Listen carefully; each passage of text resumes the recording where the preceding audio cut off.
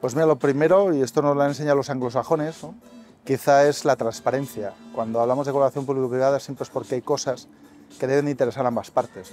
Entonces, eh, pecamos muchas veces en, España, esto es muy latino, ¿no? de siempre esconder todo aquello que evaluamos o que observamos que no va bien. Y para eso los anglosajones al revés, ellos consideran tanto buenas o malas prácticas que se hacen en la colaboración público-privada eh, son igual de válidas, son igual de, de, de útiles ¿no? para cualquier proceso de colaboración. Entonces nosotros siempre abogamos porque sea de la mano, eh, que, que, se sienten bien las bases, que se sienten bien las expectativas y que por supuesto haya un compromiso mutuo, no que sea la empresa la que pida o el gobierno el que pida, hay que buscar siempre un punto de encuentro.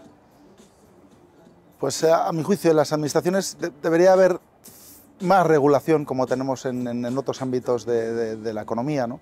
sobre la colaboración público-privada. Debería haber más libertad para, establecer este tipo de colaboraciones. Las, tenemos más asociadas a la universidad. Quizá las más paradigmáticas que tenemos en España son las cátedras, que es donde habitualmente se ha encontrado la empresa y, la administración pública.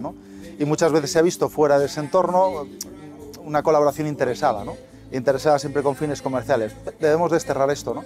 Yo creo que el poder establecer marcos que sean a medio o largo plazo eh, quitan muchas de estas trabas, eh, involucran mucho más a las partes ¿no? y lo que, lo que al final sucede es que independientemente de quién esté, queda todo el trabajo hecho. ¿no?